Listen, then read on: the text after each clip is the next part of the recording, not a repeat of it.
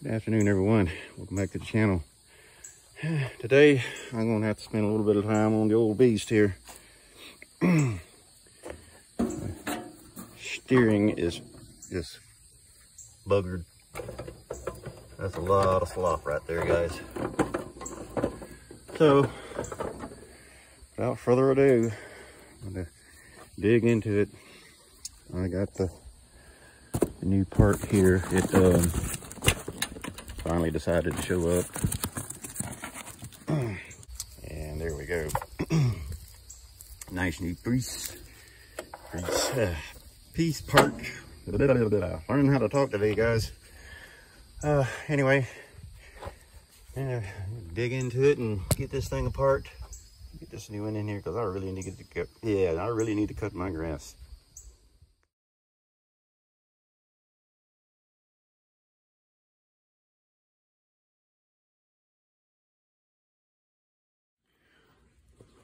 Alrighty, folks, it's back in, bolted up, tightened up, everything's hooked up.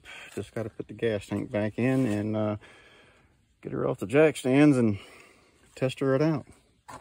But wow, that's it went so much smoother than I thought it was going to putting it back together. It fought me coming apart, but it was nice to me going back together. So I call it a win. All right. And here's all the old stuff. Yeah, this, this thing here was wore out.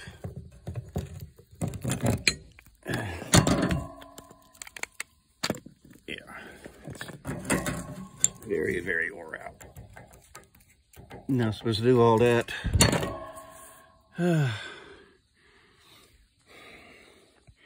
and uh, I made me a keeper my drag link here. That one's wore out. So I took a page from Chud 327's book and made me a keeper to keep that on there until I can get this part replaced.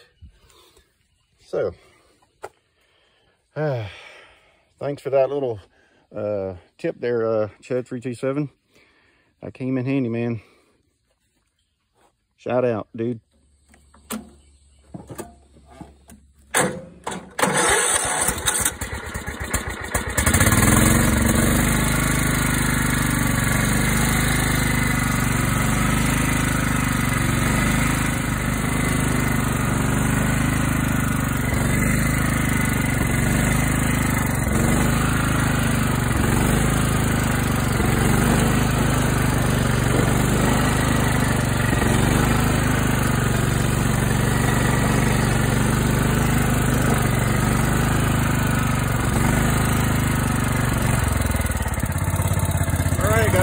Steering is so much nicer.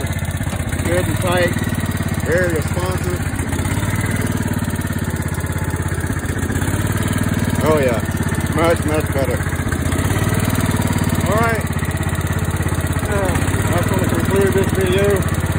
Uh, thanks for watching, and uh, until next time, later taters.